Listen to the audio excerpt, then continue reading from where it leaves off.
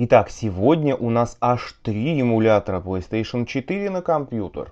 Такое ощущение, что PlayStation 4 под Windows эмулировать, это как два пальца обоссать. Все три эмулятора роднят две вещи. Они на испанском и выглядят примерно одинаково.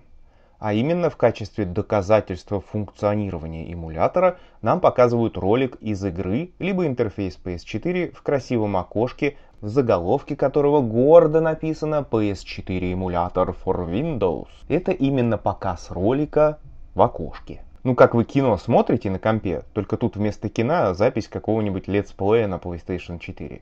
Это запись, а не реальный запуск игры. Разумеется, нам предлагается скачать эмулятор.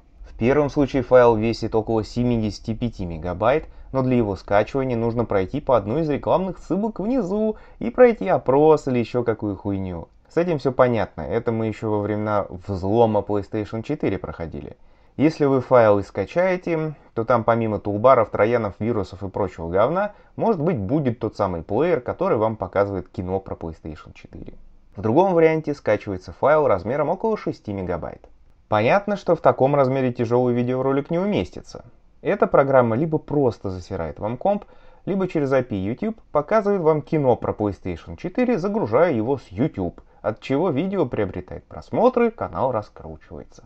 Раскручиваются и сами видео про эмуляторы, и странички в социальных сетях, на которые они ведут, так как хомячки активно постят ссылки на них во все возможные ресурсы, помогая таким образом мошенникам получить еще большую аудиторию. На моем канале такие ссылки сразу сыпятся в спам, так что с вашего позволения я его удаляю.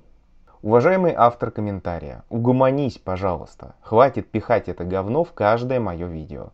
Одного раза более чем достаточно.